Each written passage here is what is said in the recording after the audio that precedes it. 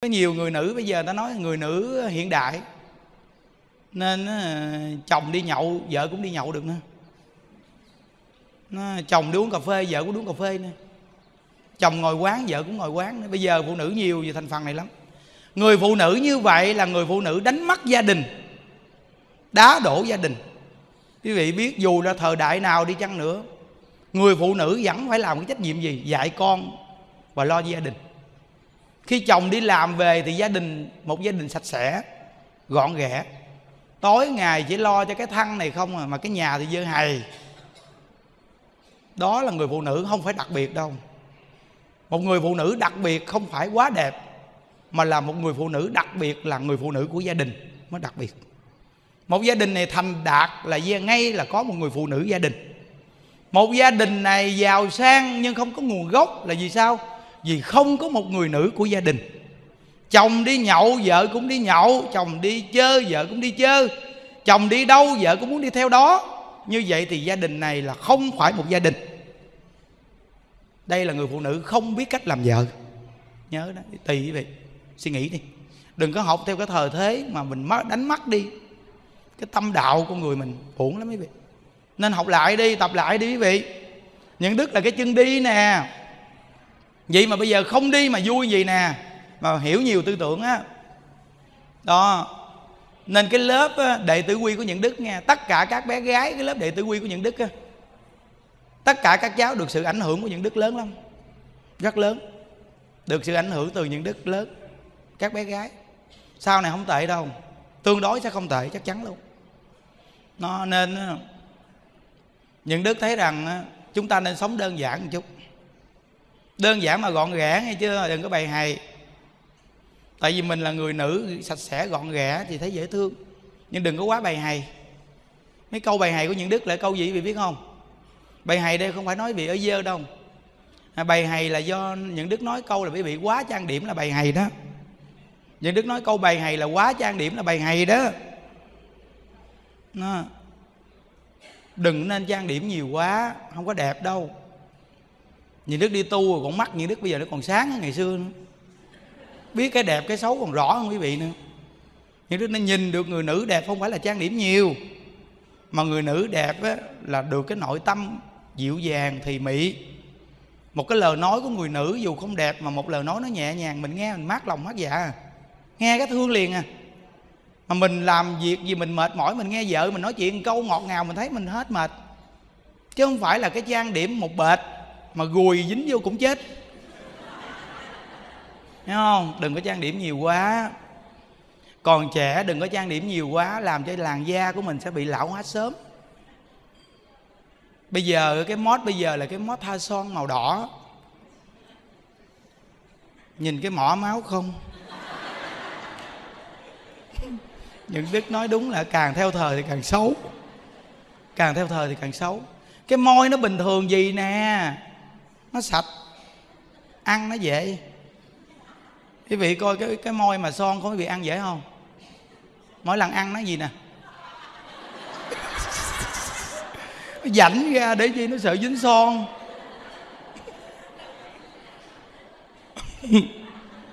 Nên đây là thấy rồi. Quý vị đi đến chùa mình nghe lại và chỉnh lại đi. Nó trang điểm nhẹ nhẹ thôi những đức nói nói cho những người chưa xăm môi còn những người xăm môi rồi thì không nói. Tất cả những người phụ nữ đừng nên dại dột đi xăm môi xăm mắt. Vì xăm môi xăm mắt, quý vị sẽ chết với nó luôn. Không thoát được. Tại sao chúng ta không để một làn môi bình thường? Một làn môi bình thường khi cần tha son màu gì thì chúng ta thoa xong về lao chúng ta để chân mày bình thường, càng vẽ sao thì vẽ nhưng xong rồi, chùi. Còn nếu như chúng ta xăm thì chết với nó luôn. Sau này thí dụ như cuộc đời chúng ta có sự thay đổi. Từ là một người giàu thấy nó quý phái trang điểm, đúng không? Lỡ một ngày nào chúng ta đi làm thuê, người ta vừa nhìn đôi môi và xăm mắt của mình. Người ta thấy mình chắc không làm được trò chống gì nên người ta không nhận. Điều thứ nhất. Điều thứ hai, lỡ một ngày nào chúng ta đi tu, hoặc là chúng ta đến với cửa phật, tự nhiên thấy môi mình và mắt mình không phải là môi và mắt đó không tu được nhưng mà thấy nó không phù hợp trong phật pháp. Hiểu không? Nhớ đó. Người khôn khéo nhất là gì? Để tự nhiên. Tự nhiên vẫn là đặc biệt. Ừ, tự nhiên vẫn là đặc biệt. À, trang điểm người ta, người ta phải biết cách trang điểm thì đàn người đàn ông người ta mới thương. Mấy bà trang điểm mà không biết nhìn thấy gớm. trời ơi, có những người dưới quê cái mặt đen thui. Mà trang điểm này một tạ. Xong á, mồ hôi nó đổ ra, nó chảy đi đến đâu thì giống như ông kẹ. Ghê chưa? Gớm vô cùng luôn. Nó là không biết diện á. Ví dụ như mình muốn ăn diện mà đẹp, Mình phải nhìn cái dốc của người đó bằng bộ đồ đó Và cái gương mặt người đó trang điểm cách đó Và mình nhìn rồi mình phải xem lại cái dáng của mình và cái dáng người đó. Mặt mình và mặt người đó nó phù hợp hay không? Thì mình sẽ chọn ra một cách trang điểm phù hợp liền. Chứ đừng có nhìn người mẫu bản đồ đó đẹp. Nó là người mẫu, còn mình là người mũ. Khác, đúng không? Người ta cái tướng người ta thon bằng bộ đồ cao, gáo đẹp. Còn mình cái tướng lùng xỉn, mà nhìn người mẫu. Trời ơi, phải nhìn cái người trạng thái giống mình để mình chọn ra một cái cách bận đồ và trang điểm phù hợp. Đó là một cái cách mà ăn diện phù hợp mà được người ta thương hiểu không? Nghĩa là người đàn ông á, người ta cảm thấy cũng nở mặt nở mày khi vợ của mình lâu lâu đi đám tiệc với mình, mà biết trang điểm. Chứ không phải lúc nào cũng trang điểm. Tại vì mình đã có chồng rồi mà lúc nào cũng ăn diện, thì có khi con trai nó nhìn ngó, nó để ý, rồi lúc đó nó làm cho nội tâm của mình có sự chọn lựa lại, thì lúc đó gia đình mình bị đổ nát, hiểu không? Hoặc là mình là người phụ nữ đã có chồng rồi mà quá trang điểm thì làm cho chồng mình cũng lo vì mình từ nơi đó mà lo sanh nghi. Nghi thì tức khắc sống mất hạnh phúc. Diện đúng nơi đúng chỗ. Lúc nào có anh em diện không có anh em xấu đó là người đàn ông tin tưởng nhất. Đàn ông cũng vậy. Nơi nào có vợ mình tương đối rất kỹ lưỡng, gọn ghẽ. Nơi nào không có vợ mình mình trở thành một con người rất đơn giản. Để làm chi? Để tạo lòng tin cho đối phương hai bên. Hiểu không? Thí dụ như mấy cô quá ăn diện đẹp thí dụ như những đức mà ở ngoài đời mà có vợ đi vợ mình lúc nào cũng ăn diện đẹp hết. Mình đi làm cực muốn chết luôn mà nó ăn diện đẹp trong lòng mình cũng lo nữa. Không biết nó nhà nó có theo thằng nào không mà nó, nó ăn diện đẹp quá đúng không quý vị? Đó là làm cho người ta bận tâm lo âu. Gia đình nó làm cho mất hạnh phúc quý vị. Hiểu không? Đó là đây là những điều mà những đức á, những lời nói nó ngoài lề chút xíu ngoài phật pháp. Nhưng mà nó cũng không phải ngoài lề gì đâu để cho quý vị nhận thức để mà cuộc sống của mình nó tuyệt hơn. Chứ không phải những đức nói, tu hành buông xả là thành bầy hầy không phải. Đúng không? Có những người ăn diện thành bầy hầy á. Thí dụ như trời xanh chúng ta đẹp là cái gì? Tóc đen. Và theo thời gian, tóc bạc. Quy tắc. Của quy định tự nhiên, đúng không? Nhưng nếu quý vị tóc đen mà nhộm thành tóc vàng, móc lai, quý vị là người lạ. Người này không phải là người bình thường nữa. Hiểu không? Nên ngày xưa không hiểu, bây giờ hiểu rồi, nên nhìn nhận lại. Người phụ nữ đẹp nhất là để mái tóc đen. Có thể theo thời thế bây giờ một chút, chúng ta duỗi tóc này để cho nó thẳng một chút xíu, đừng nên duỗi quá đáng. Hư tóc. Tóc mà duỗi nhiều, hư tóc. Sau này tóc sẽ bị rụng. Da đầu bị ảnh hưởng đó quý vị, không giỡn đâu. Nên con người mà diện thành dơ là gì? Là tóc đen mà nhuộm vàng, móc lai dài cộng. Đây là diện thành ngốc. Không biết cách diện. Uhm. còn theo thời gian thì phải có tóc bạc. Đúng không? Theo thời gian phải có tóc bạc. Con người sống tuyệt nhất là gì? Theo quy luật tự nhiên. Theo quy luật tự nhiên. Quý vị hỏi lại, tại sao thầy cạo đầu? Thầy không tự nhiên rồi. Tôi tự nhiên trong phật pháp. Thấy không? Răng và tóc là gốc con người tốt là để trang điểm. Tại sao người đi tu lại cạo đầu? Vì muốn nói lên cho quý vị nghe rằng, đối với tôi không quan trọng về cái vẻ bên ngoài, phải trở thành một con người đơn giản. Nhưng những đứa thấy cạo đầu còn đẹp hơn ngày xưa chưa cạo đầu. Ừ. ngộ ghê luôn. Cạo đầu những đức thấy gương mặt những đức bây giờ còn coi được ngày xưa chưa cạo. Ngày xưa những đức chưa cạo đầu tóc những đức những đức thấy mấy thằng ca sĩ đâu mấy thằng này kia nó nó nó nó, nó, nó chảy đầu dảnh dảnh dảnh dảnh giống cái đuôi gà đuôi chuột á. Đã cái mỏ thì nhọn rồi mà tóc thì dảnh lên. Lấy keo vuốt vuốt vuốt vuốt vuốt vuốt vuốt vuốt vuốt. Vuốt ruồi mà dính vô là chết queo luôn. Mà nó dơ kinh khủng luôn. Tại vì keo đồ nó, nó xám vô trong cái cái cái tóc á. Rồi bắt đầu chạy xe ra đường bụi bặm nó đợi nó đá, bám lên đầu tóc nó dít chịch nó dơ gớm kinh khủng luôn. Bây giờ những đứa khỏe ghê khỏi cần xà bông vì cái đầu chọc lóc. thấy không? Nó, nên những đức nói mấy cô trong chùa mình á răng và tóc là gốc con người. Bây giờ mấy cô vô chùa cạo đầu mai mốt những đức nhổ răng đó nữa là rồi. Dẹp luôn cái gốc sa đỏ cái răng và gốc là răng và tóc là gốc con người. Gốc gì? Gốc sa đỏ đúng không? Suy nghĩ kỹ đi. Gốc sa đỏ nếu hiểu được thì nó không có gì sa đỏ nhưng không hiểu vì coi vì cái trang điểm này mà con người chúng ta, có khi chúng ta lao theo cái dòng xoáy của cuộc đời và hư thăng, mất nết, đúng không? Nó, nên từ nơi đó mà mình hiểu biết trong Phật pháp thì không có gì sao đọ đâu. Hay lắm á. Nên những đức khuyên quý vị, nghe đạo rồi sống đơn giản đi, sống bình dị đi. Sống đừng có nặng nề vật chất quá nghe. Như đi về đây nè, sống đơn giản thôi. Nãy giờ vì cười nhiều, đúng không? Những đứa kéo dài thời gian một chút đó để cho quý vị làm gì? Khỏi lễ nửa tiếng đó. Dưỡng sức cho vị chiều nay lễ năm trong danh hiệu Bồ Tát Quán Thế Âm. Nhưng đã về đây rồi là phải phát nguyện cho mạnh. Cái cô kia hết hồn luôn. Nhưng đức nói chuyện làm nhiều cô cũng hết hồn. Có cái cô kia nói, thầy ơi, cầm cái máy của thầy, có khi nửa đêm hết hồn. Lâu lâu thầy hét một cái hết hồn. Còn có cái ông kia, ông nói câu còn cự ác đạn ông nói vợ con lúc nào nó cũng bắt pháp của thầy trong phòng hết trơn á.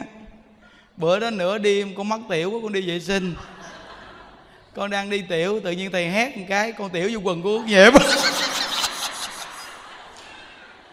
giật mình á mà thiệt, những đức nói chuyện lâu lâu những đức la một cái hết hồn thiệt quý vị.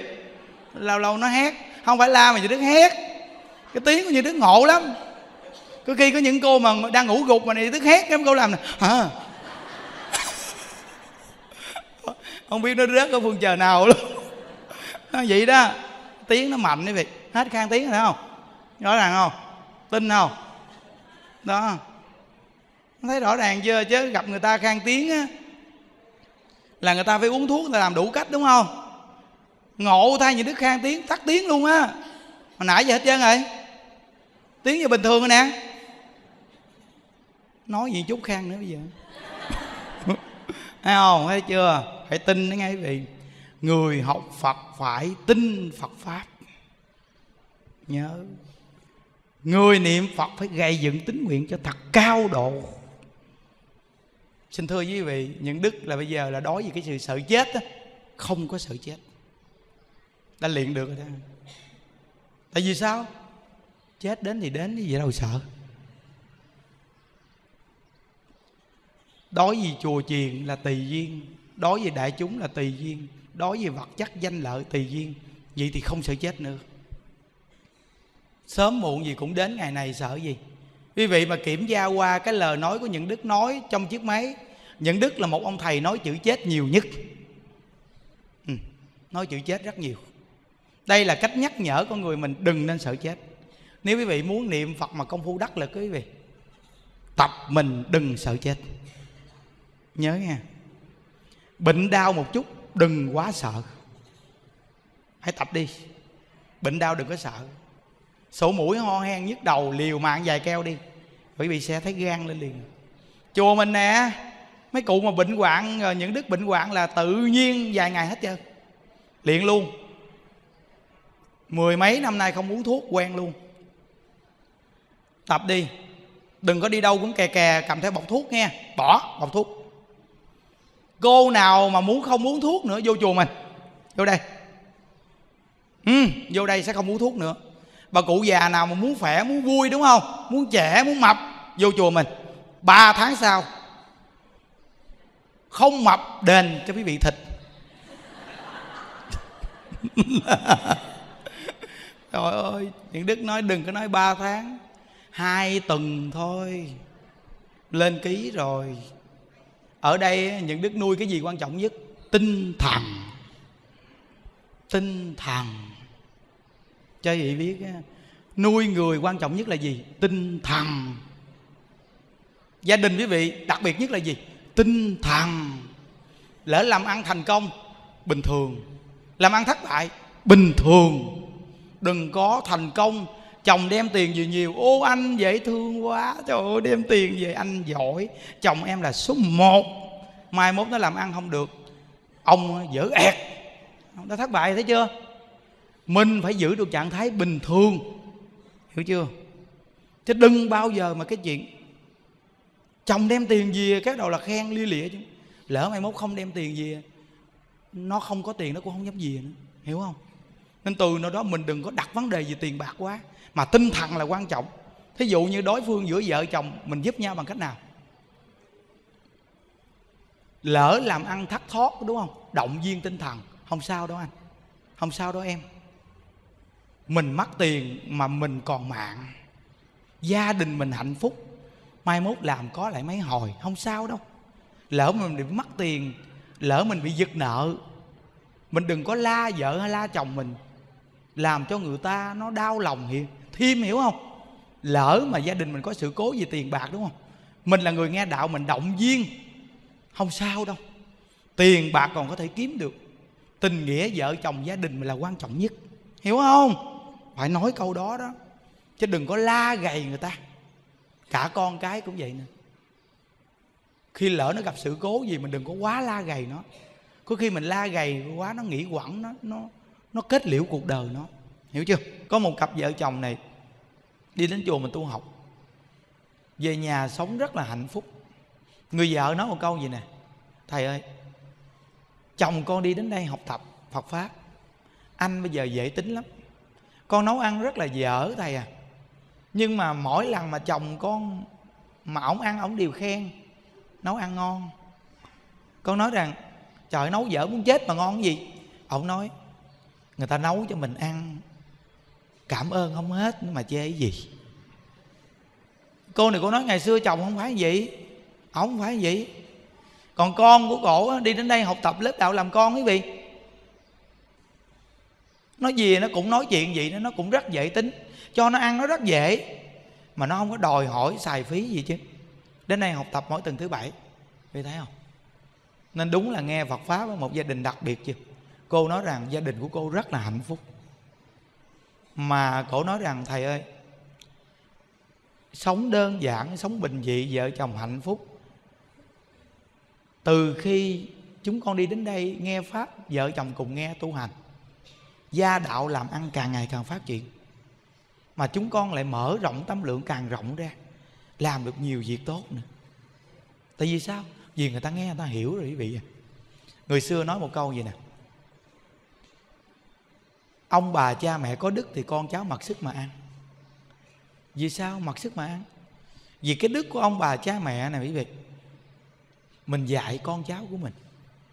Bây giờ thì chúng ta có nhiều người giàu, nhưng không có dạy phúc đức cho con cháu đâu nghĩ rằng tiền của này nhiều để lại cho con cháu. Thì con cháu mình nó không bao giờ nghèo, chưa chắc đâu. Con cháu mình nó mất đức rồi. Dù quý vị để của cải nhiều cỡ nào đi chăng nữa, thì nó một ngày nào cũng sự nghiệp tan thành. Có một cái ông này, ông quan này nè. Ông được nhà vua thương yêu ông, trọng ông lắm.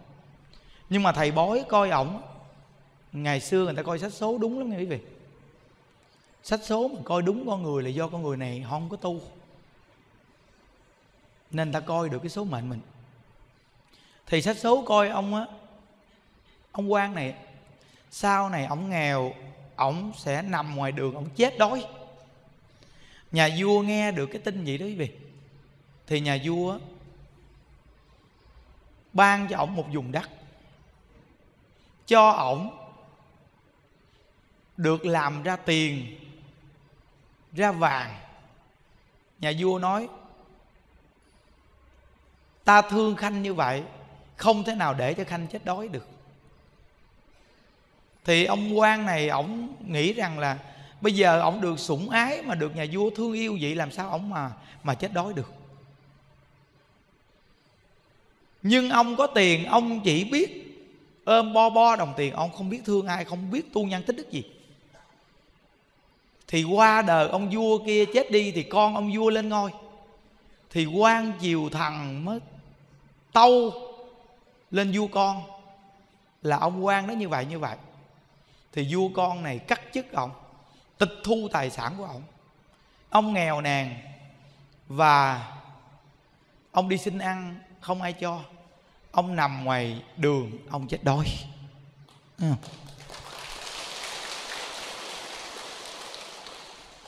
còn câu chuyện của tiên sinh liễu phàm. Tiên sinh liễu phàm được khổng tiên sinh coi là 53 tuổi, chết. Làm quan thì cố gắng học hành nhưng làm quan không cao. Bổng lộc triều đình cho phong phát thì sao? Khổng tiên sinh coi rõ nằm trên lòng bàn tay luôn. Ngài liễu phàm chịu mười mấy năm chờ bị số mệnh câu thúc. Và thêm cái nữa khổng tiên sinh coi liễu phàm là không có con. Không có một đứa con nào luôn. Năm ba tuổi chết, không có một đứa con nào hết. Liễu phàm chịu mười mấy năm chờ số mệnh câu thúc, và ông thấy rõ ràng như trong lòng bàn tay. Khổng tiên sinh coi rõ ràng hết, đúng luôn. Thì lúc đó, ngài liễu phàm, ngài buông xuôi số mệnh luôn không có một chút gì cầu tiến hết. Mỗi ngày ông rượu chè be bét. Ông ngồi đâu, ông ngồi im đó. Ông không suy nghĩ gì hết. Ông nói rằng, số mệnh của ông như vậy rồi. Ông cần gì phải suy nghĩ thêm chi nữa? Thì rất là may mắn một ngày kia, liễu phàm ông gặp được một người xuất gia, tên là văn cốc thiền sư. Khi hai người ngồi để mà ngồi thiền á thì ngài liễu phàm thì không biết ngồi thiền gì đâu. Chỉ là tin số mệnh cuộc đời mình nên ngồi không cần suy nghĩ. Mà ngài văn cốc thiền sư này á, ai mà gặp ngài thì phải ngồi được hai tiếng với ngài. Mà không duỗi chân thì ông mới tiếp. Liễu phàm ngồi ba ngày ba đêm. Thì ngài văn cốc thiền sư tán tháng từ xưa giờ cuộc đời của ngài văn cốc thiền sư tu là một cao tăng đắc đạo. Chưa từng gặp một người giỏi ngồi thiền mà như ngài liễu phàm tán thán liễu phàm thì lúc đó ngài liễu phàm ngài nói, tôi không biết một cái gì hết chứ. Chỉ có là số mệnh của tôi là bị câu thúc hết rồi. Nên tôi ngồi với ngài, tôi không cần suy nghĩ. Tới đâu thì tới kệ nó đi. Chứ ngoài ra tôi không phải biết ngồi thiền gì hết. Thì ngài văn cốc ngài cười, lớn lên ngài nói ta tưởng đâu ông là thánh nhân. Không ngờ ông chỉ là một kẻ phàm phu. Thì ngài lý phàm, ngài hỏi vì sao ngài nói như vậy? Thì ngài văn cốc thiền sư ngài nói, số mệnh là do chính mình thay đổi hay là không thay đổi? Thí dụ như mình tạo ác, thì ác báo sẽ đến với mình. Mình tạo thiện, thì thiện báo sẽ đến với mình ông bây giờ ác báo đến với ông là do cái nghiệp quả của ông đã tạo. Bây giờ ác báo đến với ông. Nếu như ông có thể bắt tay vào thiện để ông làm, bắt đầu từ bây giờ, thì nó sẽ chuyển ác báo trở thành thiện báo. Khi ngài văn cốc thiền sư ngày dạy, lúc đó chí tình chí lý. Tiên sinh liễu phàm nghe lời chân thật bắt tay vào làm thiện ông bắt đầu làm gì? Ăn chay. Trước nhất là ông không sát sanh nữa. Ăn chay. Và sửa đổi tính tình, nóng tính của ông lại. Không uống rượu luôn. Ông là người uống rượu be bét nè, rồi buông trôi số mệnh nè, tâm tham dục nặng nề nè. Thì trước nhất là ngày liễu phàm ăn chay trường và không uống rượu. Hai điểm này ông làm trước. Bắt đầu là nhà ông có của cải, bắt đầu là người ta nghèo khổ là ông bố thí cúng dường, ông làm hết lòng luôn. Chân thật làm luôn quý vị thì vị biết rằng đó ông làm chưa được bao lâu thì số mệnh gia đạo của ông có sự chuyển biến liền. Có nghĩa là ngài khổng tiên sinh coi không còn đúng nữa. Khi bắt tay vào làm thiện thì không coi đúng luôn.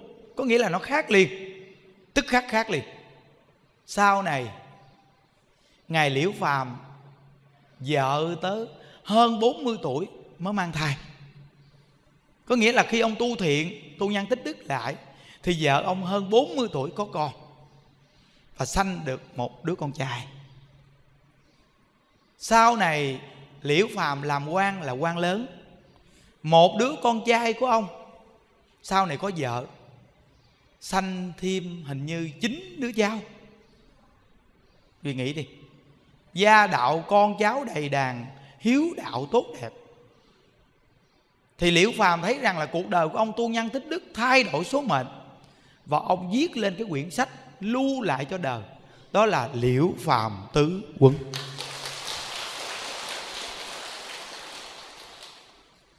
cuộc đời con người có thay đổi được hay không quý vị? Được. Thay đổi được. Người đang ngồi trước mặt quý vị nè thay đổi được nè. Đây. Những đức thay đổi được nè. Những đức sanh trong một gia đình nghèo những đức học lớp 3 nghỉ. Một con người tính tình hư hỏng, làm nhiều điều sai quấy. Những đức nói, năm 29 tuổi, những đức nghĩ rằng cuộc đời mình tiêu rồi, không còn lối thoát nữa. Bây giờ chỉ có ăn nhậu, bê, tha thôi, sống cho qua ngày đoạn tháng. Người không còn ngày mai nữa, quý vị. Thật sự đó.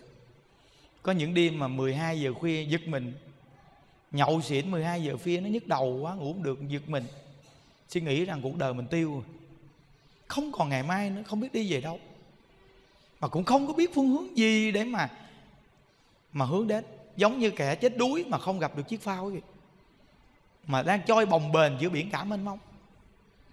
Năm 29 tuổi những đứa gặp Phật pháp. Gặp ngay pháp môn tịnh độ này nè. Niệm Phật này đến ngay một ngôi chùa nuôi người già. Những đức đã nhìn nhận được cái việc gì? Thì ra là một đời con người khổ như vậy sao? Nhìn nhận sâu sắc. Bắt tay vào việc gì? Chung tay vì chú trì nuôi người già. Và đi tu tới bây giờ, những đức đi tu gần 12 năm, là bắt tay vào nuôi người già. Rõ ràng, số mệnh những đức thay đổi. Một con người chưa từng được học tập qua trường lớp gì hết nhưng những đức chia sẻ Phật pháp thì nhiều người nghe. Lạ thay như vậy. Và những đức cũng không phải có duyên với công chúng gì, mà từ khi những đức niệm Phật, những đức biết kết duyên kết duyên bằng cách nào? Gương mặt tươi vui, miệng thường nở nụ cười. Nhớ, không có tiền, nhưng gương mặt tươi vui, miệng thường nở nụ cười. Gặp người chào bằng cách nào? A di đà phật. Vậy thôi. Mười mấy năm nay niệm phật rõ ràng số mệnh thay đổi. Người không thông minh tự nhiên phát lên tương đối. Nói chuyện, dù là không sách vở, nhưng không dấp câu. Văn tự lưu lót, trôi chảy. Lời nói, câu thì logic từng câu từng chữ, tự nhiên xuất hiện. Phải rõ ràng không? Có sự thay đổi không? Đối với cái sự nghiệp cuộc đời hiện tại, quý vị biết rằng làm nhiều việc mà cuộc đời những đức chưa từng dám suy nghĩ đến. Cuộc đời chưa từng dám suy nghĩ rằng cuộc đời mình có thể cầm được một trăm triệu đây là nói thật lòng. Đi làm 11 năm chưa từng dám suy nghĩ với cái đồng lương và sự xài phí của mình. Không bao giờ có cơ hội. Đừng nói là cầm 100 triệu chỉ mong đừng thiếu nợ. Chỉ mong đừng thiếu nợ gia đình, cha mẹ cả cuộc đời, thiếu một món nợ nhỏ xíu. Một món nợ còn ít hơn là một ngày của chùa mình sử dụng nữa. Chùa mình có khi sử dụng một ngày hơn 600 người này, một ngày có khi quân bình. Một ngày đó nhất định quý vị phải có hơn ba chục triệu cầm trong túi. Và có những bữa chúng ta sử dụng gần 50 triệu một ngày nhiều loại tiền để sử dụng. Như vậy mà quanh năm những đức không thiếu tiền. Xin thưa quý vị, những đức còn dư tiền. Xài tiền, xài không hết. Toan là xài cho người khác. Còn ngày xưa cầm tiền là nghĩ cái gì? Xài cho mình. Những đức ngày xưa mà lãnh lương có tiền một chút là cái gì? Tối đêm nay phải đi chơi. Thì thấy chưa? Làm sao có? Ly nước này hoàn toàn tôi uống không mà tôi không có tôi không có chăm thêm. Mà tôi không muốn chia cho ai uống nữa. Vậy thì tôi uống hết nước rồi thì còn nước đâu uống? Còn bây giờ thì làm sao? Có tiền đều là mong, làm điều thiện cho người ta. Trong mười mấy năm nay đã học được phương pháp gì? Tu thiện. Còn tạo ác hay không? Còn. Tạo ác ít, tu thiện nhiều. Rõ ràng chuyển nghiệp. Cuộc đời những đức chuyển nghiệp có nhiều anh em, bạn bè quen những đức. Có một anh em đến gặp những đức nói một câu gì nè? Ủa bạn, ai nhập bạn gì tôi chơi với bạn thời gian lâu vậy mà. Tôi biết thằng bạn tôi mà. Tôi thấy bạn là một con người mới nghe. Nhưng đức nói rằng, con người mới này ở đâu ra? Phật pháp đã tạo ra. Phật pháp đã tạo ra con người mới này. Từ cái tâm của người học phật chuyển tướng, chuyển luôn tư tưởng luôn. Chuyển góc độ luôn quý vị. Chuyển hết. Chuyển số mệnh luôn. Mười mấy năm những đức trong phật pháp. Chưa được mười mấy năm, trong vòng 5 năm đã có sự chuyển biến. 5 năm đã chuyển biến rồi đó quý vị. Đây chính những đức nè. Xác thực một trăm phần trăm luôn. Những đức nói cho quý vị nghe. Dù quý vị học phật, quý vị không nói cái chuyện giải thoát luôn. Chỉ cần có người này học phật, tin nhân quả thôi. Quý vị niệm phật phát tâm thiện thôi. Chỉ cần con người này làm thiện thôi. Học được Phật pháp chỉ cần làm thiện, biết niệm Phật, biết đem Phật pháp giới thiệu cho người. Quý vị không có nói giảng sanh gì hết. Cuộc đời quý vị làm ăn cái gì nó cũng thường phát triển đặc biệt lắm. Đến một ngày nào quý vị sẽ thấy ừ? Trời ơi, nhà mình vài ba người thôi mà lo chết được. Nghe nói mà hơn 600 người nghe giật thịt luôn quý vị. Thôi quý vị coi hai bên đầu tràng nó lớn như vậy. Nội mà ở bên kia mà nói tiền điện một tháng mà gần 60 triệu.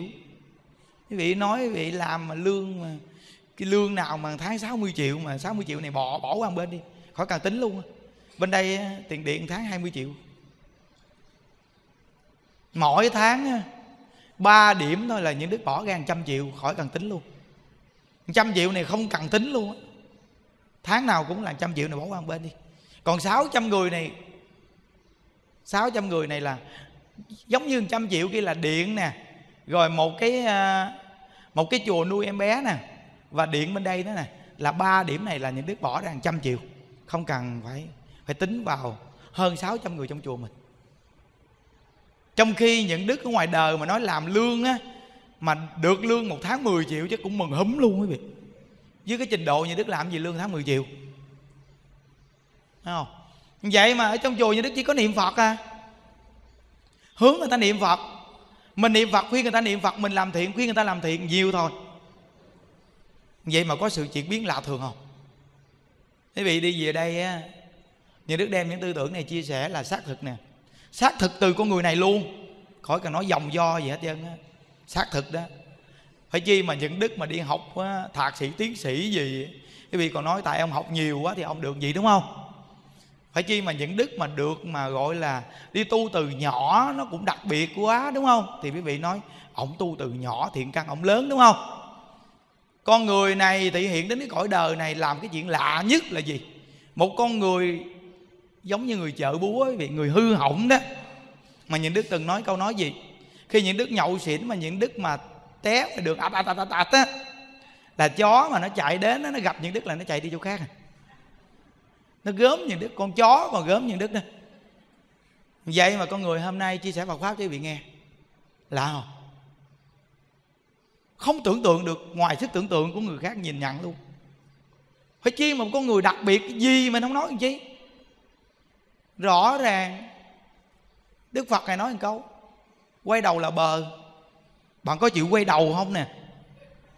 Bạn có chịu quay đầu không?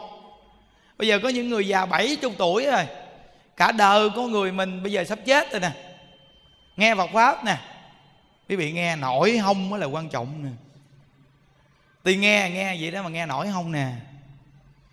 Lạ thay những đức là một con người hư hỏng. Nhưng khi những đức vừa gặp Phật pháp, cái những đức nói ô đây là chiếc phao. Con đường này mà mình không biết. Bây giờ biết rồi nên những đức lao theo con đường này là hơn 10 năm nay tới cùng luôn. Rõ ràng có kết quả. Nhiều người thì học phật học giữa chừng người ta bỏ cuộc. Những đức nói rằng, cuộc đời tôi mà bỏ phật pháp thì tôi không còn một cơ hội gì nữa hết. Không còn cơ hội gì nữa hết. Xin thưa với quý vị nghe. Tất cả chúng ta không gặp phật pháp thì tất cả chúng ta không có một cơ hội gì mà ở cái cuộc đời này mà có ý nghĩa gì hết không có ý nghĩa gì hết. Nói mạnh dạng một câu là, chúng ta không gặp phật pháp thì cuộc đời này của chúng ta sống không có ý nghĩa. Vì tin không tin thôi. Vì sao? Cả đời quý vị tạo một sự nghiệp của gia đình. Có khi cuối cùng giàu có chia cho con con vẫn không vừa lòng. Nó quay lại nó nói cha với mẹ nó câu làm sao? Ông bà thương đứa này nhiều, thương đứa kia kia ít. Trong khi tiền mình làm, còng lưng làm muốn chết luôn. Không dám ăn mà bây giờ mình chia cho tụi nó đó. Mà tụi nó nói câu gì? Ông bà thương đứa này nhiều, thương đứa kia ít. Ông bà không công bằng. Ông bà nên tính toán cho kỹ công bằng đi nó còn quay lại nó hờn trách mình. Nó làm cho mình đau đầu nhức óc với tụi nó đúng không? Ý nghĩa gì? Cả đời chúng ta cực khổ kiếm tiền bây giờ quý vị coi ý nghĩa gì? Bây giờ những đứa không có vợ không có con. Có nhiều người người ta nói một câu nói á, gia đình á, mà không có con là gia đình vô phước. Những đức thấy thời thế bây giờ gia đình mà có con nhiều, gia đình còn vô phước ác đạn hơn bây giờ mà con đến thế gian này, những đức thấy con ma quỷ gì đâu không à. Quý vị công nhận không?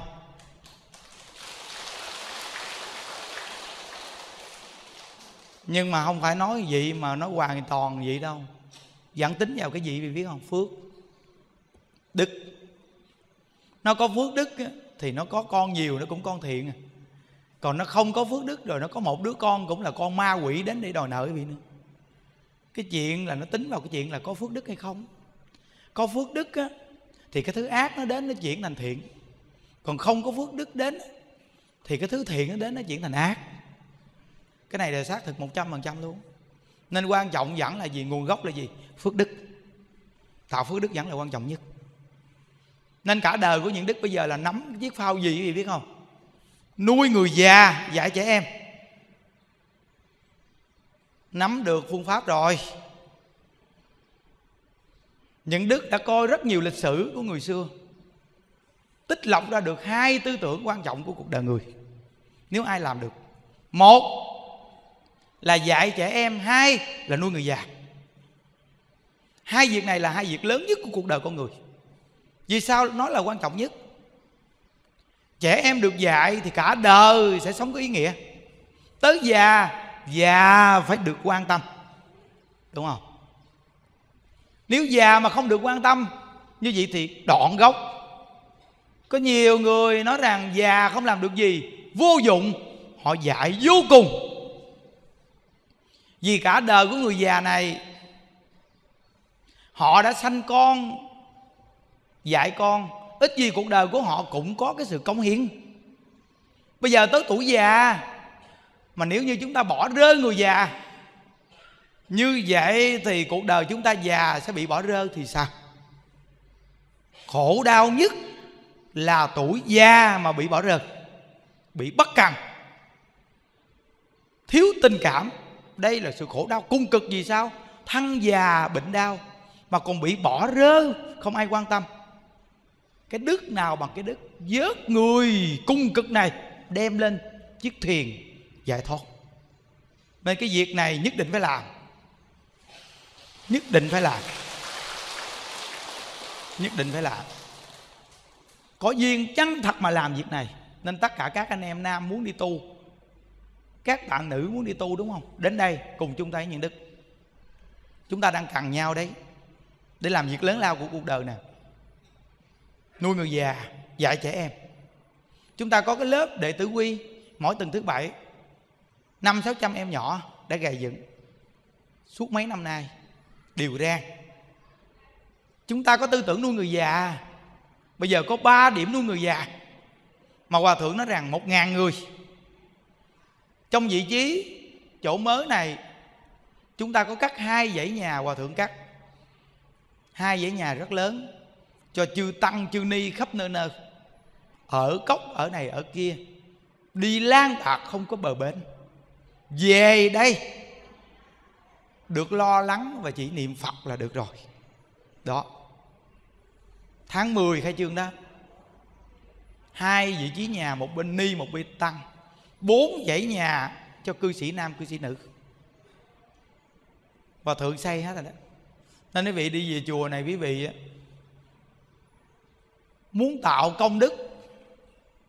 Chúng ta múc một miếng nước của mình bỏ vào nước biển. Hòa thượng những đức thấy cái việc làm ngày lớn đó quý vị. Cúng dường tam bảo cho hòa thượng xây dựng. Mấy cái thùng tam bảo này đưa cho hòa thượng xây dựng hết á. Không phải những đức lấy đâu quý vị, đừng có sợ. Đều đem đưa hòa thượng xây dựng hết. Từ nơi đó ngài xây dựng ra một cơ ngơ cho mình để có tương lai, làm những việc thiện. Những đức cũng sẽ cố gắng hết lòng sắp thành một cái mô hình nuôi người già. Nên những đức có thường khuyên các anh em rằng, nuôi người già đi. Vì sao? Tương lai mình già. Nên tất cả người con nhớ nè, hãy nuôi cha mẹ đi. Vì quý vị nuôi cha mẹ quý vị, con quý vị sẽ nuôi quý vị. Giọt nước trước nhiễu như thế nào, thì giọt nước sau sẽ nhiễu như vậy mình tính toán với cha mẹ mình, thì con mình sẽ tính toán với mình. Nhớ nghe vị ngồi ở đây có ai tính toán với cha mẹ mình không? Rồi lo làm ăn mà không nhớ đến cha mẹ không? Có khi một năm không về thăm, chừng nào chết con về luôn lượt. Không? Nên về rồi khóc chúng ta nên suy nghĩ lại đi quý vị. Quay đầu là bờ đó. Hơi thở này còn thở ra hít vào thì còn cơ hội quay đầu đó. Quay đầu đi. Còn cơ hội đó quý vị. Còn cơ hội đó. Đừng để đến khi thọ mạng đến. Một hơi thở thở ra không hít vào, chúng ta hối hận đã muộn màng rồi. Nên quay đầu, chân thật mà quay đầu đi. Quý vị về chùa mà nghe như vậy rồi nó lắng động tâm tư quý vị dữ lắm luôn á những người trẻ mà nghe như vậy rồi chúng ta có tư tưởng quý vị à. Chính những đức nè, đi tu có tư tưởng đó nè. Trời những đức thường nói với các anh em, những đức nói, ở ngoài đời những đức làm tổng giám đốc của một công ty lớn đi chăng nữa, những đức cũng không làm được những chuyện bây giờ nữa. Quý vị coi có nhiều ông giám đốc ông lo cho gia đình ông thôi hoặc là ông đi tiếp khách nhậu nhẹt đồ thôi có khi tạo nghiệp thêm nữa, chứ làm gì bằng giám đốc những đức.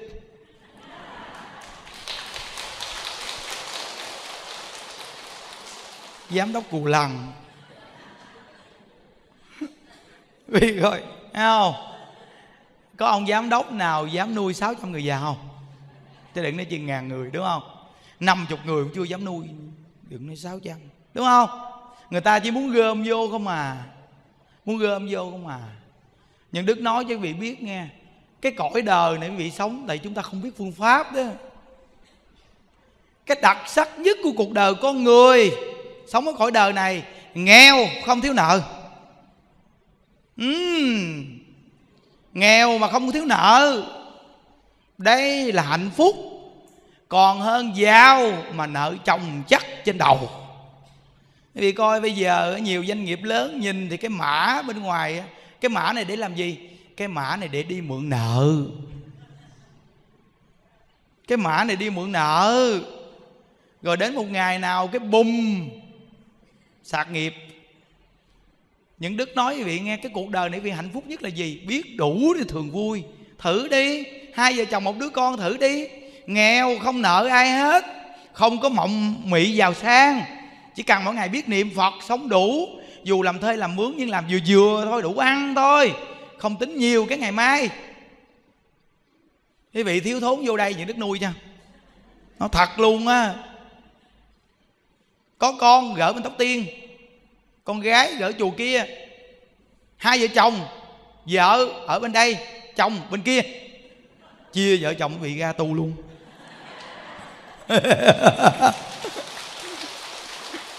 Nên quý vị coi ha, gia đình này biết tu hết trơn luôn. Không cần bận tâm.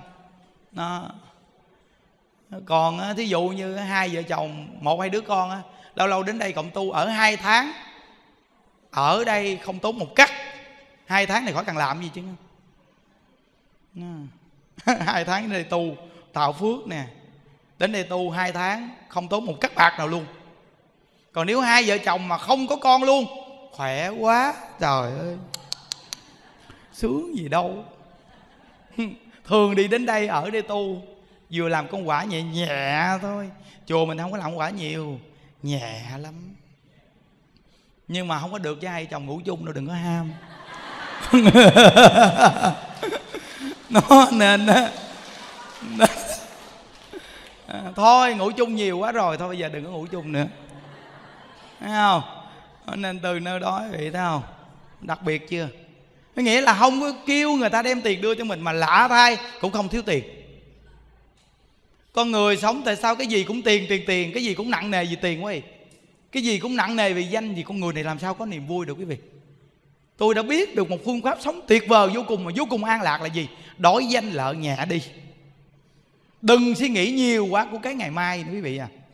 Con người chúng ta cứ nghĩ hoài cái ngày mai, nghĩ cả đời của cái ngày mai, mà cũng xong, chưa xong cái ngày mai nữa. Ngộ ghê, cứ nghĩ cái ngày mai không à. Bây giờ nhà có tiền xài, có của, thì nghĩ lỡ mai mốt làm ăn không được thì sao? Bây giờ làm để dành tiền chứ mai mốt già làm không được thì còn tiền trị bệnh. Thôi thôi làm cực cho cố vô để dành tiền để trị bệnh. Khổ ghê không? À, dưỡng già dưỡng bệnh. Rồi tới chết đó thì ừ, chết mua quan tài gì nghe. Mua cái mảnh đất chỗ đó gì nghe. Ừ, làm cái quan tài cho đẹp nghe không? Tính cái chuyện tàu lao mà trời. Con người ta đang sống gì là những ngày tháng nè là mình đang sống là mình phải sống tốt, sống đẹp, sống vui. Nhăn vui thì quả tốt. Nhăn thì không tạo niềm vui. Mà toàn là lo về cái chuyện mà mà mà cái quả khi cuối cùng nào là bệnh, nào là đau, nào là già, nào là chết. Lo cái chuyện tàu lao mà mà trong khi ừ, lúc còn động, còn sống gì nè, không chịu động, sống cho tốt đi. Tại sao không sống? Lúc còn sống này sống cho tốt. Đúng không? Nên những đức mỗi ngày khuyên quý vị cái gì? Quý vị cười là tốt nhất rồi. Đúng không? Cái những người mà cười ra nước mắt luôn đó, sống ở cõi đời này. Có cái bà già kia mới đến mới gặp như đức mới nói con nghe thầy nói con cũng cười mà cười khóc luôn á. Hỏi sao à? Nó con cười con vui nhưng mà con nhớ là nhà con khổ quá thấy không? Bị chói buộc thấy không? Nó, nó bị chói buộc kinh khủng không? Nó, bây giờ gia đình những đức nó đông người vậy đó quý vị coi, những đức cũng có bận tâm gì đâu. Đối với những đức trong chùa này là đối với cơm ăn áo bận là khỏi cần tính đó quý vị. Chỉ còn đủ sức khỏe để mỗi ngày chia sẻ Phật pháp hai thờ và để đủ đầu óc để mà sắp xếp cái đại chúng này thôi. Còn cơm ăn áo bận là khỏi cần suy nghĩ rồi đó. Vì những đức tin tất cả những người đang niệm Phật có phước lớn. Những đức tin một trăm phần trăm luôn. Khỏi cần lo. À tại vì ai cũng có phước hết rồi. Ai cũng thiện, ai cũng niệm phật nên ai cũng có phước hết nếu mà trong gia đình quý vị mà ai cũng mà thiện chứ thì yên tâm đi. Họ không có đói đâu đừng có lo. Chắc chắn luôn. Con cái quý vị mà hiền hậu có đạo đức đó nghe quý vị khỏi cần lo con quý vị thất nghiệp. Không chỗ này mời cũng chỗ kia mời à, à thiệt luôn á. À, cũng như những đức bây giờ á. Nhiều vị lớn người ta cũng thích những đức lắm. Vì sao? Vì dùng được này á. Thấy không? Vậy thì con quý vị, nếu nó có đạo đức, đối với danh lợi nó nhẹ thì ai mà không thích dùng nó? Dạy con mình dạy cái gì, đối với danh lợi nhẹ thì tức khắc hạnh phúc liền. Đó. Nên á, như thế nào là cứu giúp người khổ một cách chân chính? Dạy người ta đạo đức, dạy người ta biết tu hành niệm phật giải thoát đây là cứu giúp họ bằng một cách chân chính đúng không? Khang tiếng khang tiếng mà qua đây giờ hết khang tiếng nha. Ghê chưa? À, tin không? Như người ta là không dám qua đó. Liều mạng luôn á. Chiều nay mà khớp thì cho mày khớp luôn. Chiều nay mà ra lại bồ tát quán thế âm nhớ anh lại. Rồi quý vị, biết sao nghe? chắc vừa lễ vừa cười luôn nha chiều nay đông lắm á. Hôm qua là bên kia là quá đông luôn á. Cái hội chúng mà thôi, nó kín người luôn. Trong cái nhà to đó. thở không nổi hôm qua luôn. Nó đông vậy đó. Còn chi là bữa nay là ngày chính mà. Bên hộ pháp mình ngộ lắm, vị ơi. Ngộ lắm, người ta thích đi qua đây. Hồi tối như đứa kêu ngủ, bên đi cũng chạy qua đây nè trong khi bên đây chặt cũng chết luôn có chỗ nằm bị mấy con mọt cắn mà cũng chạy, chạy qua đây. Mà tối gai bị mọt cắn không? Chùa mình nhiều thứ về đây tu lắm. Người cũng về tu mà mọt cũng về tu nữa. Ngộ ghê luôn. Viết từ từ cũng sống chung với nó luôn. Thấy không? Cũng bình thường cũng vui bình thường. Đó. Thì thấy nhà đức có than thở gì đâu đúng không?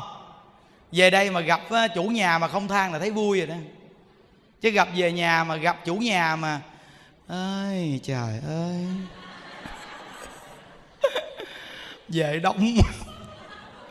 Về đông quá, thầy khổ quá. Cái con ơi, gạo trong kho hết rồi. Rồi đầu hũ mua mấy ngày nay quá trời luôn. Đồ đạc mua chuẩn bị cho họ, dùng quá trời mua luôn. Mà thùng tam bảo không thấy ai cúng thầy đang kẹt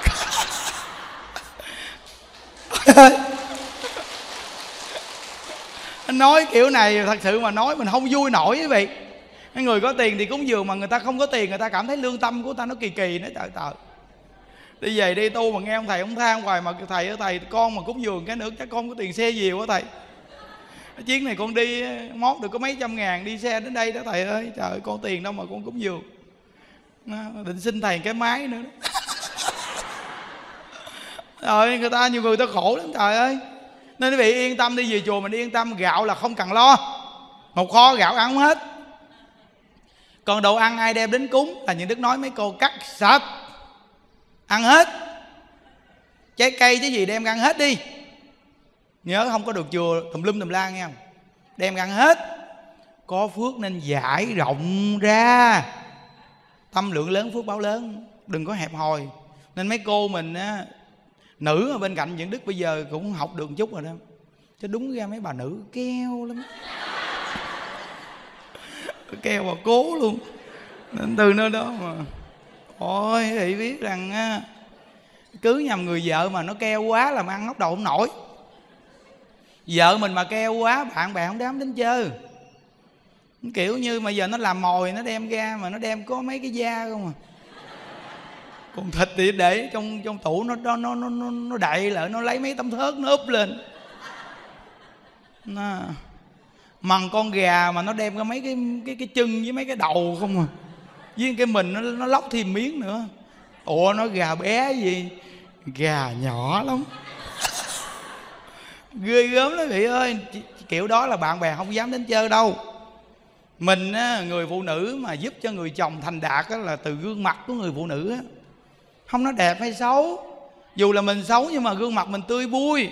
Tuy mình xấu nhưng mà miệng mình cười có duyên. Biết cười là có duyên á, chứ đừng có nói cười gì má đúng đồng tiền. Cười là có duyên rồi gặp bạn bè gặp bà con dòng họ đến. Chào hỏi một tiếng đi có tống tiền không? Gặp người ta chào một tiếng đi. Những đức nói tôi hết tiền cũng được nữa. Nhưng người bên cạnh tôi là phải vui những đức nói mỗi lần mà những đức họp mà cô nào mà mệt mỏi mà buồn đồ đó. Người phụ nữ mà có khi tới những ngày bữa của người ta người ta cũng mệt mỏi. Nên những đức nói, tôi thông báo cho biết nha, lúc mà tôi họp á, mệt mỏi là ngồi tránh xa tôi, đừng có ngồi trước mặt tôi. Tôi ghét cái người mà ngồi trước mặt tôi mà mệt mỏi lắm tôi không chịu. Ừ những đức nói họp á, ai mệt mỏi thì ngồi qua bên cạnh, bên phía đông, phía tây đừng có ngồi mặt tiền. Quý vị nghĩ đi, người ta ngồi người ta hợp, người ta nói chuyện vui mà tự nhiên cái người ngồi trước mặt, bây giờ thí dụ như giờ người ta nói chuyện vui đi. Người ta nói chuyện vui cho đại chúng vui đi, tự nhiên cái người ngồi trước mặt. Mình nói vui, bao nhiêu người cười họ? Mình mình mình nhìn thấy họ, mình nói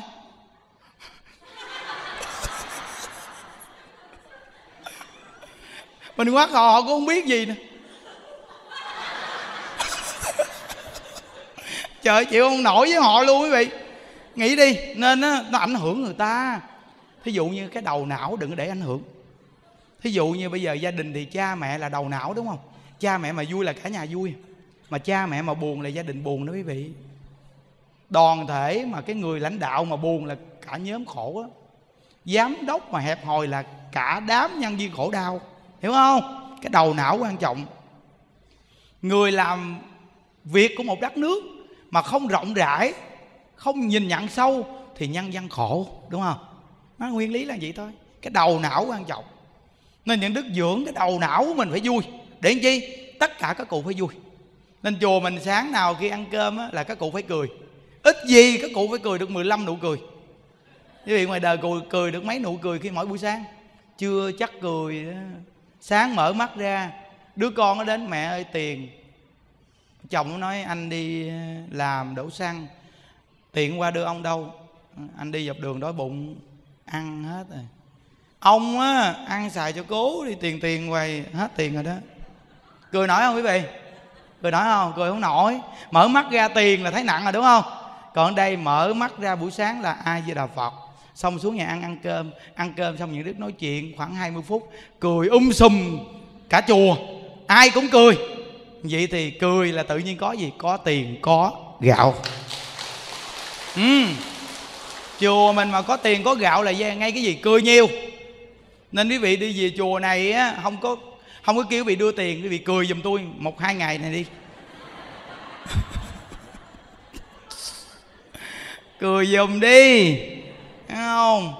Cười thấy dễ thương chưa? Dù là súng răng cười cũng dễ thương. Quý vị mà súng răng quý vị mà cười mà không dễ thương là do cười sao mà không dễ thương không? Súng răng mà cười gì nè? Là không dễ thương. Còn súng răng cười sao dễ thương? Ờ ngộ lắm. Người mà súng răng mà cười mà bành nguyên cái hàm răng luôn làm quý vị nhìn làm cái là tự nhiên dễ thương liền à. Thử đi. Còn không có một cái răng nào hết càng dễ thương. Nhìn cái đú răng y gan em bé vậy đó.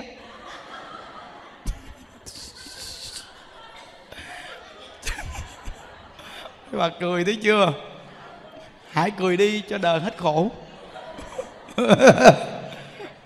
Trời ơi hồi tối á những đức nói rồi ai mà muốn lại gần những đức á, hỗ trợ tinh thần. Tôi sướng muốn chết luôn tôi cần những người bên cạnh sướng theo tôi, quán thế âm bồ tát, nghe tiếng một chút. Hồi tối á, tất cả mấy cô bu xung quanh mình không biết, hồi tối nóng nảy thì sao không biết. Mình sướng muốn chết luôn, mình nghĩ rằng giờ sướng yếu, sợ phía sau ta bỏ cuộc, lại không nổi nên mình kéo kéo một chút mà. Ồ về không đơn giản đâu, hồi tối nó nóng. Hồi tối mà cái lúc mà hết pin á, hết pin micro á có mấy phật tử đến gặp nói, con tưởng thầy xỉu không á, trời. Nó xỉu xỉu, đâu rồi xỉu? Hết pin. Micro hết pin? Ờ, chứ xỉu, đâu mà xỉu? Chờ mấy bà phật tử rồi các bà lại xong rồi đi vô á. Bà nói nè, trời ơi, thầy ơi, con lo quá trời luôn con tưởng nó thầy xỉu không à. Tự nhiên sao thấy thầy im gu đứng phía sau gót đầu nhìn quá trời luôn kiếm. Coi coi thầy có té đâu không? Trời ơi mình đứng mình niệm à, à, à, sướng lên một câu mấy cô kế bên á mấy bà không có niệm. Có có một cô niệm mà niệm ngộ lắm. Quán thế em vừa tên Nhưng Đức nói Cái bà này Tôi mà không cầm micro này á nha. Tôi kêu mấy chú dẫn mà đi ra ngoài liền á, Cho mà biết á. Thà bà không sướng đi. Bà sướng gì ngộ vậy? Kế bên mình luôn. Mới làm gì nè? Quên em buổi tiên Nhưng Đức như đức nói bà hết pin nữa vậy? Trời ơi. Xong á, cái đầu á, mình mới quay là mình nhìn bà mình làm mình động mấy mấy lại nha quay là mình nhìn bà. Bà bà nhìn tôi cái đi. Bốn năm lại mà bà cứ tiếp tục. Quen em vừa tiếc bà nhìn cái đi. Rồi xong cái tự nhiên cảm ứng sao? Tự nhiên bà, bà quay bà nhìn mình. Cái những đức nhìn bà như đức làm nè. Kênh bà. Đang đứng kế bên á nhìn lại nhìn kênh bà liền. Bà hiểu không? Trời ơi, bà vẫn không hiểu quá, tiếp tục. Anh em vừa tiếc.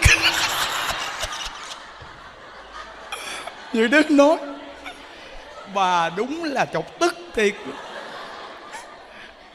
Có nghĩa là kênh bà mà bà tưởng đâu là khen bà. Tưởng đâu khen, bà niệm hay á, bà tiếp tục, bà còn nén ác đạn nữa.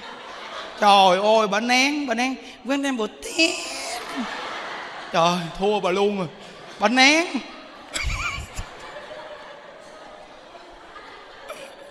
Xong á, khi lễ xong như đức hỏi, cô niệm hay quá à.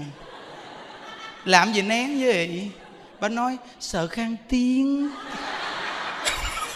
Đúng là tiếu công nhận luôn. Thì biết rằng đụng nhiều cơ lắm. Nên nhà đức nói mấy cô trẻ trong chùa mình á lại xung quanh những đức á, hỗ trợ tinh thần bằng cái tiếng gì? Niệm lớn lớn một chút. Làm cho mình kích thích mình hứng quý vị hiểu không? Trời ơi hồi tối quá nóng cũng thông cảm. Xung quanh ai cũng. Thôi thôi chịu thua. Mình mình cố gắng hết mình mình thôi tôi tôi tôi kéo hết nổi rồi đó. Nó hồi tối ông kiệt cũng vô mấy keo á. Kiệt ảnh về ảnh quay phim rồi. Chứ lúc trước là ưa để ờ, chú kiệt kế bên cạnh á. Ông niệm, ông la ghê lắm. Ông la mà muốn rớt ra ngoài luôn nó, nên nay quay phim, làm phim rồi. Từ nên đó lâu lâu ông chạy vô ông la mấy keo á. Nên cũng vui lắm quý vị. Quý vị biết rằng đi đến chùa, mà nó phải có một cái cảm giác thì sao nè? Ta mà thích đi đến đây đúng không? Vì thấy vui hết trơn, buồn ngủ chưa?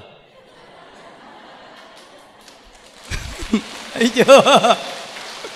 Trời ơi, hồi nãy mà nói Phật pháp á và chúng ta nói Phật pháp chính cống nghe không nổi. Phải pha vô một chút mới nghe được, đúng không? Chính cống là nhìn xuống thấy thảm lắm, có nhiều cô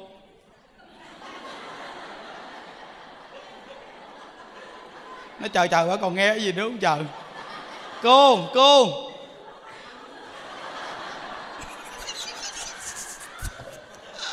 có nhiều bà ngủ gục á, có nhiều bà ngủ gục một cái bà ngồi kế kế bên bà khiều khiều khiều khiều khiều ban đầu thì khiều cái làm nè.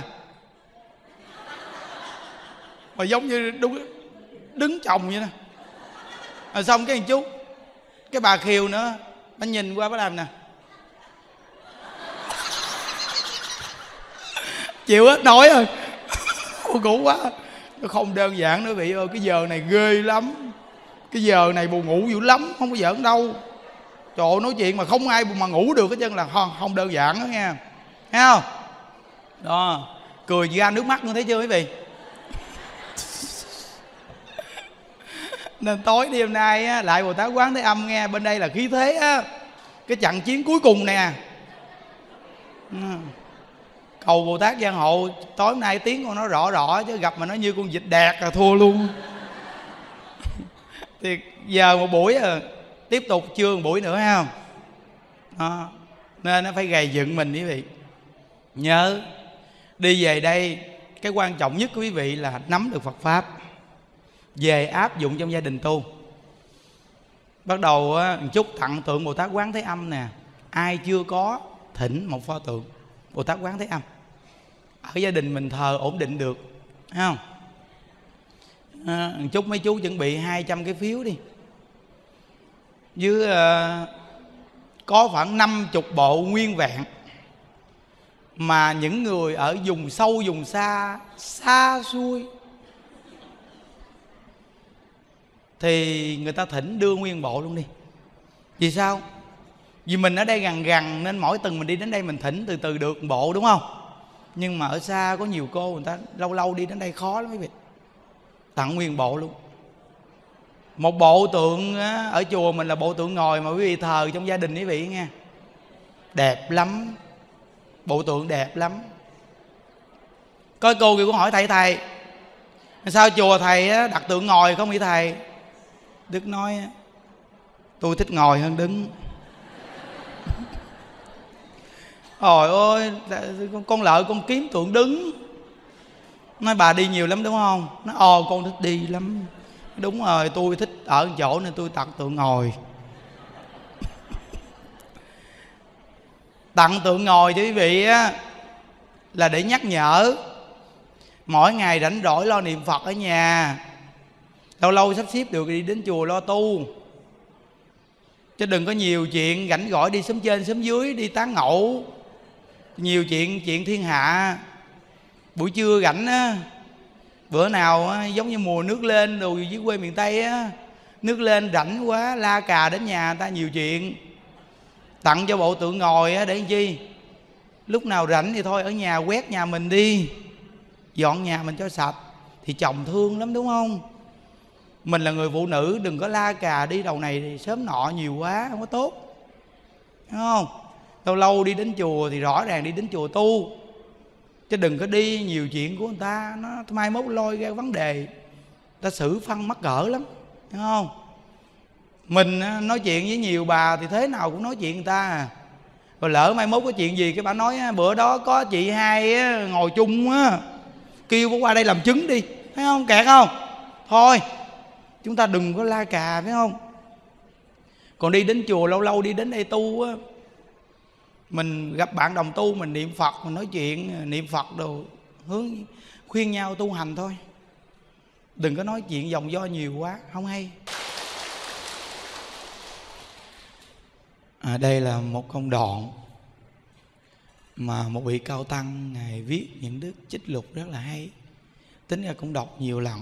Ngài dạy à, à, như thế nào là giúp người nghèo khổ bằng một cách chân chính nhìn thấy người nghèo khổ khởi lên tâm từ bi, bố thí, hỷ xả cho họ. À, đồng thời còn nên dạy họ niệm phật. Nếu họ không niệm, thì quý vị hãy niệm một tiếng a di đà phật cho họ nghe. Đây chính là có tài thí, lại có pháp thí. Bố thí cho họ tiền tài, có thể giải trừ cái khổ sát thân của họ dạy họ niệm phật có thể khiến cho pháp thân của họ được giải thoát. Ừ. đây là một công đoạn rất hay. Nên à, à, chư thổ dạy giúp người nghèo khổ và phải kèm thêm phật pháp.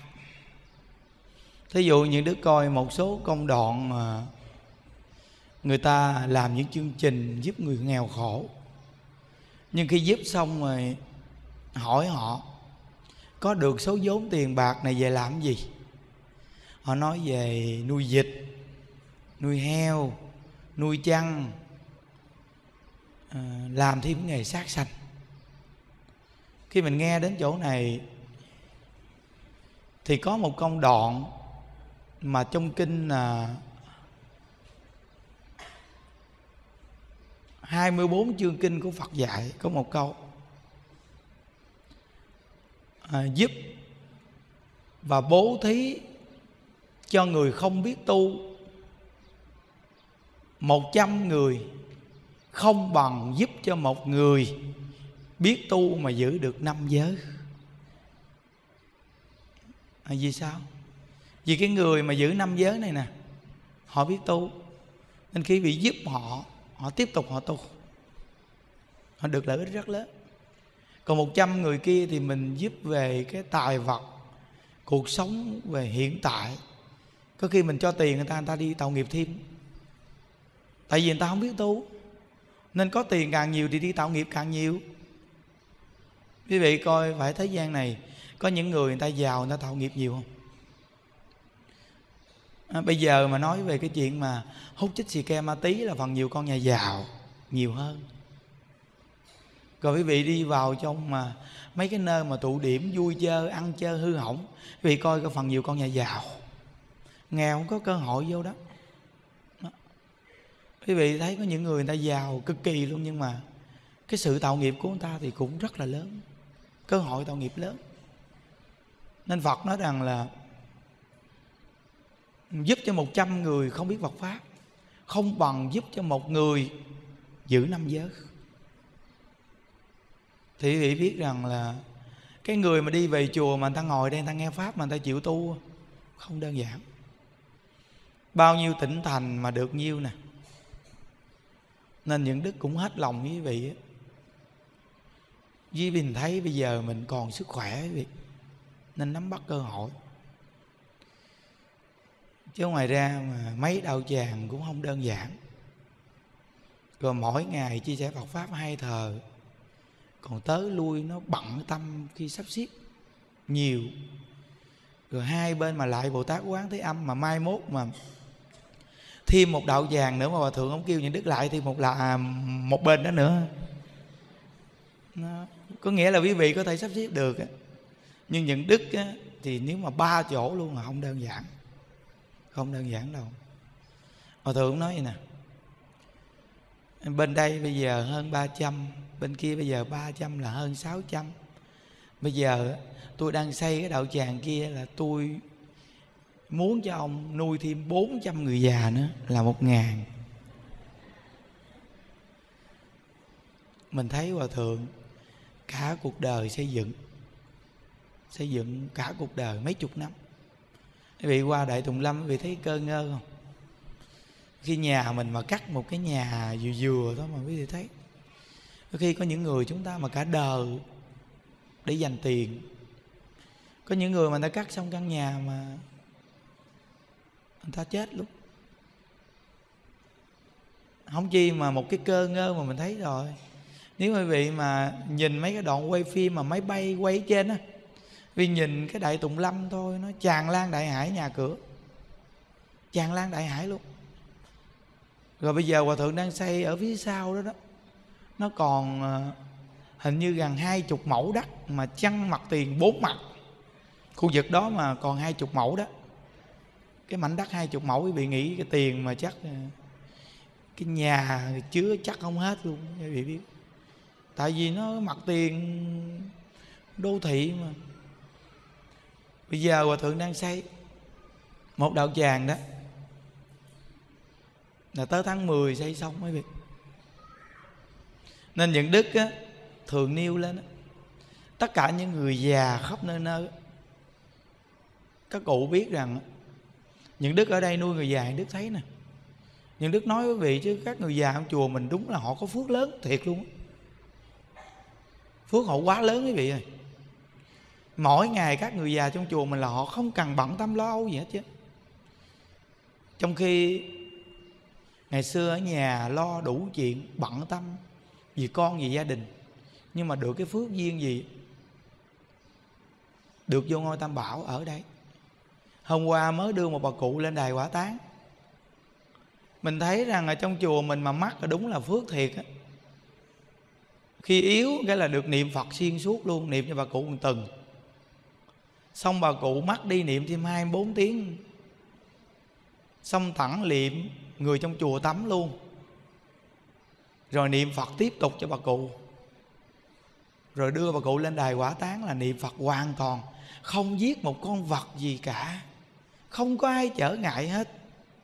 Toàn là niệm phật. Mà đưa cái đám tang thiệt là nó đông vui. Mà vui lắm hôm qua.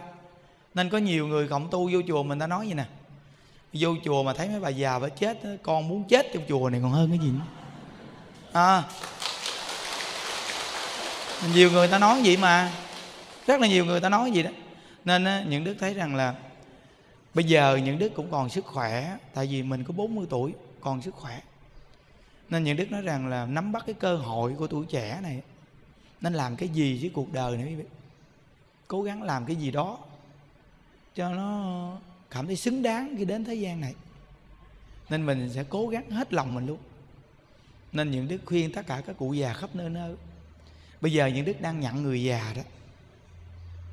Nên quý vị mà gặp những hoàn cảnh mà thí dụ như con cái hắt hủi rồi đó, giờ mình bàn với tụi nó đi. Nó thôi giờ cha mẹ nuôi các con khôn lớn mà các con thì lo cuộc sống khó khăn quá mẹ cha thấy khổ quá. Sống với các con thì có khi thằng con trai muốn nuôi mà đứa con dâu nó không muốn. Đứa con gái muốn nuôi mà thằng con rể không chịu. Mẹ cũng không có muốn làm phiền gia đình của con. Thôi, các con có thể giúp cho mẹ được ở trong chùa đi. Có nghĩa là những đức nhận không nhận một cách gì hết. Thí dụ như các cụ có tiền bạc chút đỉnh, cho con hết đi cho sạch luôn, cho của cải nó hết luôn. Đi đến đây, chỉ cần nó đưa đi đến đây, hoặc là nó chấp nhận, nó ghi một tấm giấy cho mình đi đến đây thôi. Rồi nhà đức nuôi cho đến chết luôn. Nuôi đàng hoàng luôn. Nuôi mỗi ngày vui vẻ. Vô đây trong vòng 3 tháng là lên ký liền á. Ừ. Mấy bà cụ già trong chùa mình, bà nào bà nấy, mặt mày sáng sủa, mập mạp, vui vẻ. Sống mỗi ngày niệm phật thư thớt một cảnh giới rộng rãi, sống bình yên vô cùng. Đó. Các cụ ông, các cụ bà gì? Vậy nên suy nghĩ con đường đi của mình. Tại vì phật nói được thân người là khó, gặp phật pháp càng khó. Chúng ta nên trân quý cái thân người này. Để chúng ta phải nuôi cái huệ mạng của mình á, để khi cuối cuộc đời của mình nó phải đi về đâu một cảnh giới tốt đẹp mà trong chùa này nó hỗ trợ bị lớn như lắm á. Hỗ trợ rất là lớn. Tại vì mỗi ngày nhà đức nhắc nhở và mình không giữ điện thoại mình không giữ tiền mình không đi đâu nên nó hỗ trợ cho mình. Cái sự tu đặc biệt lắm. Còn ngoài đời nó nói tu tu chứ nhiều sự việc nó nó phân tâm mình nhiều quá. Bây giờ mình muốn tu mà mình thấy con của mình trời ơi, nó làm ăn khó khăn. Không ai giữ cháu mình mình phải bận tâm mình phải giữ. Thấy không? Muốn tu tu khó vô cùng nên quý vị biết rằng người trí nên lo cái huệ mạng của mình mới là người trí thật sự. Còn nếu như không biết lo cái huệ mạng của mình đó nghe, khi cơn vô thường đến bất tử rồi chúng ta mà chỉ cần á, sai một ly là đi ngàn dặm á, chúng ta không biết đi về đâu á. Lúc đó thì hối hận nó muộn màng rồi quý vị à. Muộn màng thiệt á. Nên những đức thấy rằng là càng tu hành thì những đức thấy mình nên làm một cái gì đó với cái cuộc đời này quý vị à nó làm cái gì đó. Tại vì á cuộc đời của người mình sanh không mang đến chết không mang đi. Có cái ông này ông giàu lắm quý vị. Mà khi ông nghe đạo á ông à, di chúc cho con ông gì nè? Ông nói gì nè? Khi mà cha mà chết đi con làm dùm di chúc này cho cha. Một là để cha lên một cái tấm dáng mỏng ginh cha đi. Tại ông này ông giàu lắm. Để cái tay của cha cho nó lòng thòng ở dưới vậy nè. Lòng thòng lòng thòng. Rồi trên đoạn đường đi đó đó, con lấy của báo trong nhà mình nhiều gì nè. Con giải lên trên đoạn đường đi đó đi. Người con hỏi, vì sao? Vì sao cha để lại di chúc như vậy? Thì ổng nói, con nhớ nè, khi cha nghe đạo, cha mới hiểu rằng dù là cha đã tạo ra một sự nghiệp rất lớn với cái cuộc đời này, nhưng cha muốn cho tất cả mọi người biết rằng, khi cha chết đi thì hai đôi tay của cha vẫn là quần trắng tay. Dù là của cải nhiều nhưng vẫn là tay trắng. Còn của cải cha tạo nhiều như vậy, nhưng nó chỉ là ở trên đoạn đường của cha đi qua thôi chứ không có cái gì mà cha cầm theo cả. Cha muốn khuyên mọi người hãy tỉnh giấc với cuộc đời này. Đừng để danh lợi nó lôi kéo buộc ràng mình mà không có một chút thời gian để lắng động tâm để nghe đạo tu hành. Ổn đi một đời lắm. Khi như đức đọc cái câu chuyện này như đức thấy hay. Câu chuyện hay. Quý vị coi á, nhiều người ngồi trong đây cũng có những người giàu những người nghèo có những người chúng ta không nghe đạo rồi dù quý vị giàu quý vị cũng không có niềm vui đâu. Người ngoài đời người ta nói một câu này nè. Có tiền mua tiên cũng được, có tiền là có tất cả, chưa chắc đó quý vị à. Có khi chúng ta giàu mà chúng ta không có hạnh phúc đâu. Giàu mà không có tình người. Không nghe đạo nó không có tình người, không có tình người không có hạnh phúc. Có khi giàu đổi bạn sang đổi vợ. Giàu sang mà không có tình người, nó vẫn không có hạnh phúc đâu còn mình mà nghe đạo dù quý vị nghèo nhưng mà quý vị vẫn có hạnh phúc á. Những đức nói nè 11 năm trên thành phố những đức đi chơi, vui chơi, bạn bè ăn nhậu, bê tha, nhiều thứ trò chơi. Nhưng những đức khi quay về, những đức thấy có những giây phút rất là bất an quý vị thấy cuộc đời mình không biết đi về đâu. Nhưng mà mười mấy năm nay những đức đi tu quý vị biết không? Càng tu thì càng vui. Trong khi những đức chưa từng đi chơi ở đâu hết trơn á. Không có đi chơi ở đâu chứ. Có khi quanh năm đâu có cầm tiền xài đâu quý vị. Cần cái gì thì người ta lo cho mình. Không có xài tiền chứ. Trong phòng ở cũng gọn ghẽ, đơn giản. Nó không có một cái cuộc chơi gì của cuộc đời nữa chứ. Vậy mà tại sao? Mà những đức càng ngày càng bình an, càng ngày càng vui. Vậy thì những cái cuộc chơi trong cuộc đời này nó không vui bằng là mình sống ý nghĩa. Nên những đức thường đọc cái bài kệ cội thế trăm năm một kiếp người, ai rồi cũng phải trở về thôi, phải sống sao cho thật ý nghĩa, để buổi ra đi nở nụ cười. Đúng không? Mà ý nghĩa nhất là gì vì đem Phật pháp cho người ta. Giới thiệu. Đem Phật pháp giới thiệu là một ý nghĩa lớn nhất. Quý vị coi, nếu nhận đức mà không gặp Phật pháp làm sao nhận đức có ý nghĩa gì? Là một thanh niên hư hỏng rồi. Làm sao chia sẻ Phật pháp với vị nghe? Nếu như những đức không gặp Phật pháp, những đức không có thể nào chia sẻ Phật pháp với vị nghe được. May thay những đức gặp được Phật pháp nè, mới chia sẻ Phật pháp với vị nghe nè.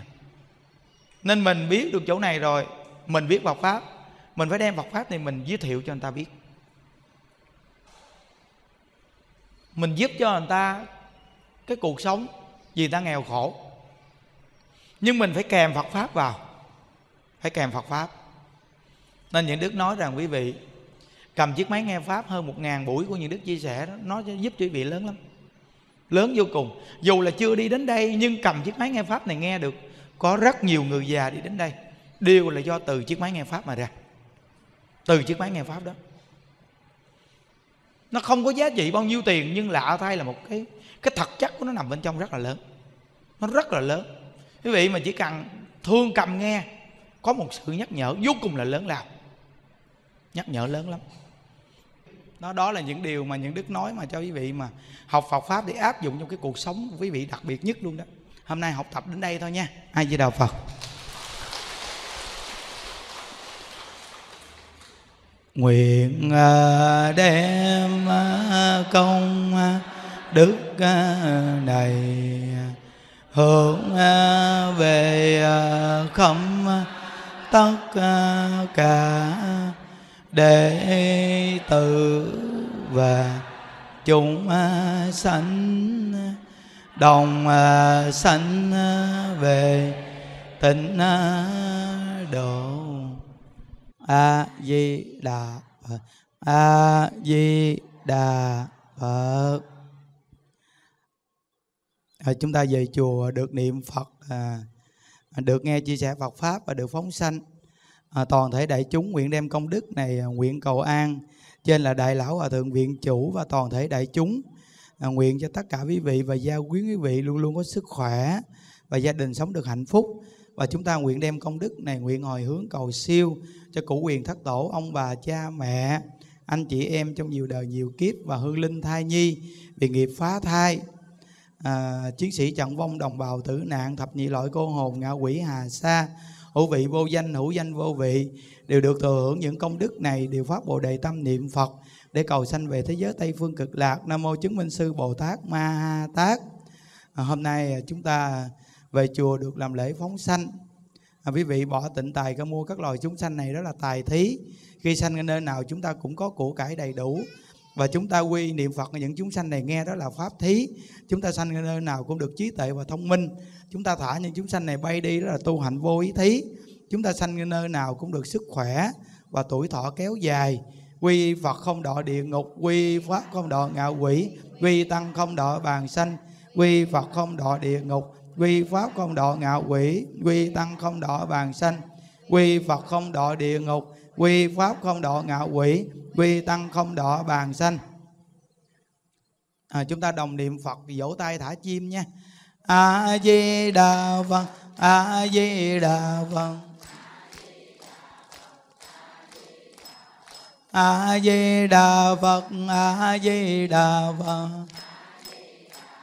a di đà a di đà phật a di đà phật. A di đà phật a di đà phật đà phật a di đà phật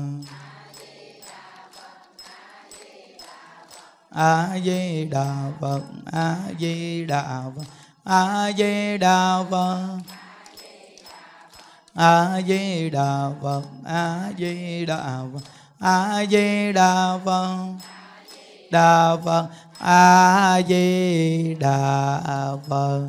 A di đà phật.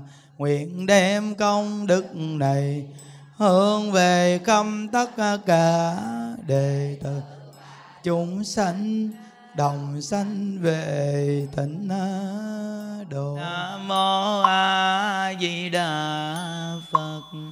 Nam mô a di đà phật nam mô a di đà phật.